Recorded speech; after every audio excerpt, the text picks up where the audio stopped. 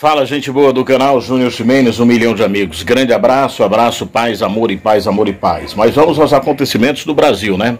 Primeiro eu quero pedir a você que se inscreva no canal, dê like, fique com a gente para fortalecer o nosso canal. Estou vendo aqui no Jornal Povo de Fortaleza, do Ceará, o delegado Alex Rodrigues da Silva, que atua na cidade de Cavalcante, região da Chapada dos Veadeiros, em Goiás, tá?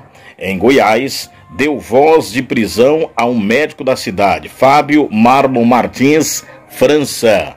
Fábio Martins, Fábio Martins, Fábio Marlon Martins, França, esse que está aparecendo aí do lado aí, ó. Tá vendo? Esse médico aí foi preso por é, ter, atendimento, a, a ter atendimento após ter atendimento prioritário negado. O delegado achou que ele transgrediu a lei o fato aconteceu na última quinta-feira, dia 27 de janeiro agora de 2022. É, as informações do portal Metrópolis. Está aqui reproduzido aqui pelo jornal O Povo e eu tenho que dar os créditos. Bem, eu acho o seguinte: se existe na lei a determinação para que se dê prioridade é, à autoridade, tipo o delegado aí, e o delegado precisou dessa, de usar dessa, dessa eu diria, desse benefício, né, e não foi atendido, evidentemente que o médico transgrediu a lei. Transgrediu a lei. Mas vamos observar o seguinte: é, se o delegado deu voz de prisão ao médico e tirou o médico do seu posto de trabalho, quando ele teria mais pessoas para serem atendidas, aí eu acho que é o delegado que está é, infringindo algum tipo de lei, tirando o direito do cidadão. Por, a não ser que o delegado tenha providenciado outro médico para substituir aquele médico que estava de plantão. Eu acho que nesse caso o que, que deveria acontecer? O delegado viu que o seu direito estava sendo transgredido, orientou ao médico, olha, eu como autoridade, deveria ser assim, não sei se você sabe, mas eu tenho é, direito à prioridade, o atendimento aqui deve ser prioritário à autoridade, tipo eu. Aí ele conscientizaria o médico, tá? Talvez o médico não saiba também, né? Acho que seria até justo, qualquer um no lugar do médico gostaria de ser advertido assim. Eu, no lugar do médico, diria: me mostre a lei. Pronto, tá, tá beleza, eu não sabia, então vou lhe atender. O ser humano tinha que trabalhar assim, foi o que Jesus recomendou. Mas não, tudo bem. O que aconteceu é que o delegado determinou a prisão do médico. Agora você se coloque no lugar das pessoas que estavam lá no local para serem atendidas, que eu não sei quantas, mas pelo que a gente imagina, é, nesses postos de saúde, nesses locais que se procuram atendimento de saúde, sempre tem muita gente, porque a saúde do Brasil é precária, né? E aí o que que acontece? O delegado foi levado à prisão, foi preso, foi conduzido, né? Teve aí a, a condução coercitiva, como se fala, e, e as pessoas voltaram para casa doentes, ficaram sem atendimento. Eu acho que essas pessoas deveriam agora procurar o direito delas e responsabilizar clara quem de fato merece ser responsabilizado. O que que o delegado deveria ter feito, ao meu ver?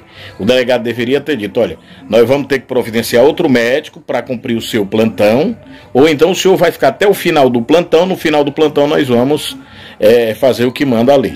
Eu acho que seria por aí. Seria por aí.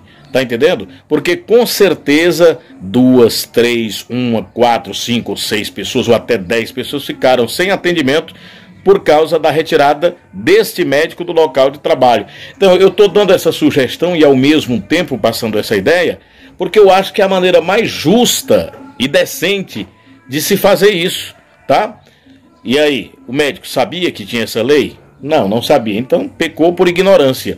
Se não sabia, agora está sabendo. Se não sabia, eu acho que o delegado deveria informá-lo. Doutor, eu não sei se o senhor sabe, mas tem uma lei que determina que autoridades têm que ter prioridade. E aí, conscientizando o médico e ele não atendendo, seria realmente é, é, justo e decente, porque mesmo assim ele deveria dizer, ó, você vai terminar seu plantão e depois nós vamos fazer o que manda a lei.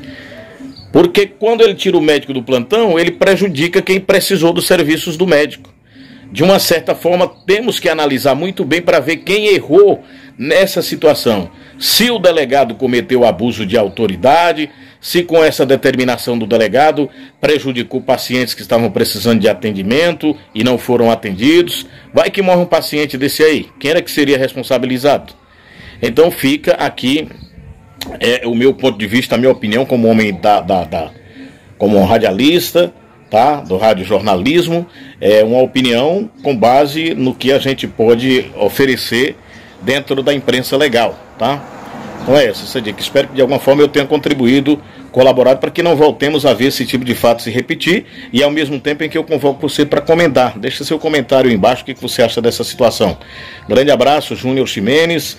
Se inscreva no canal, dê like, canal Juntos Menos um milhão de amigos. É muito importante a sua opinião e é muito importante participarmos desse debate para a gente não ver situação constrangedora como essa se repetir, porque prejudicou o, o delegado que não foi atendido, prejudicou o médico, que é um profissional que nós precisamos, a cidade repudiou, a cidade ficou revoltada com essa decisão, o médico é muito querido, é tanto que ele pensou em sair da cidade e vai continuar por causa da bem-querência popular e prejudicou. Eu só vi nessa, nessa questão aí, nessa confusão, eu só vi prejuízo para todo lado: prejuízo para o delegado, prejuízo para o médico e prejuízo para os pacientes que ficaram provavelmente sem ter o atendimento, pelo menos é o que eu penso. Grande abraço, dê like, se inscreva no canal para que a gente possa continuar produzindo mais conteúdos.